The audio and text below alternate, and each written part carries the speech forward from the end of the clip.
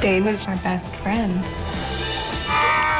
Most of the time, I felt like they were married, and I was just a bystander. Hi, Fruit Loop. Hey, how you feeling? Thanks for being here.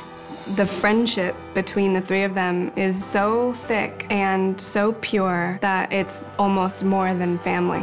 And it's the most beautiful thing to watch.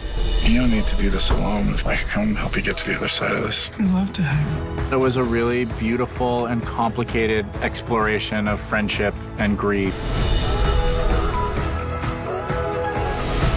You know, you don't have to stick around. Nicole's my best friend, too. I'm happy to be here.